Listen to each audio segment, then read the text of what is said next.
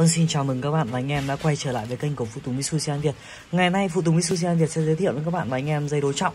Dây đối trọng của dòng xe Mitsubishi Jolly, dòng xe Zinger và dòng xe Mitsubishi Granite Được sử dụng cho khá nhiều dòng xe tại thị trường Việt Nam. Thì đây là dây đối trọng Sản phẩm được trực tiếp chúng tôi nhập khẩu từ Mitsubishi Moto về Và phân phối tại thị trường Việt Nam. Hay có anh em trong Sài Gòn thì nhất anh em trong khu vực trong miền Nam thì hay gọi là dây Đây là dây cam nhỏ. Dây cam nhỏ của dòng xe ờ, dòng xe Mitsubishi.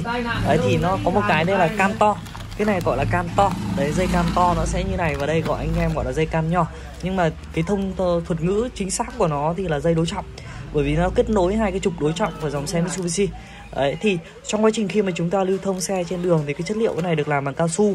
Và trên trên trong này nó có dây dù này đây phía mép là dây này. Đấy, dây. Đấy. Thì trong quá trình khi mà chúng ta lưu thông xe Chúng ta chạy xe trên đường một thời gian thì nó bị hỏng mất cái dây này. Thì lúc nó đứt thì cực kỳ nguy hiểm Bởi vì nó tất cả các cái chuyển động nó không đồng bộ nữa Thì gây gãy và lúc ấy nó vỡ và hỏng cái động cơ của chúng ta Thì lúc ấy chi phí rất là đắt. Đấy, thì những cái này chúng ta nên sử dụng hàng xịn các bạn nhé Xịn, chuẩn xịn chính hãng. Đấy, thì trong quá trình khi mà chúng ta lưu thông xe, chúng ta chạy xe trên đường mà bị hỏng mất cái dây này, thì các bạn vui lòng đến phụ tùng Mitsubishi An Việt, website phụ tùng mitsubishi.vn các bạn xem thấy hay thì nhớ nhấn like và đăng ký kênh để nhận thêm nhiều video mình sẽ review tất cả các sản phẩm phụ tùng dòng xe Mitsubishi này, phục vụ các bạn cách hoàn toàn miễn phí. Và đừng quên để lại bình luận ở phía bên dưới để chúng ta cùng nhau trao đổi về kinh nghiệm, sử dụng của tất cả những chi tiết phụ tùng dòng xe Mitsubishi này.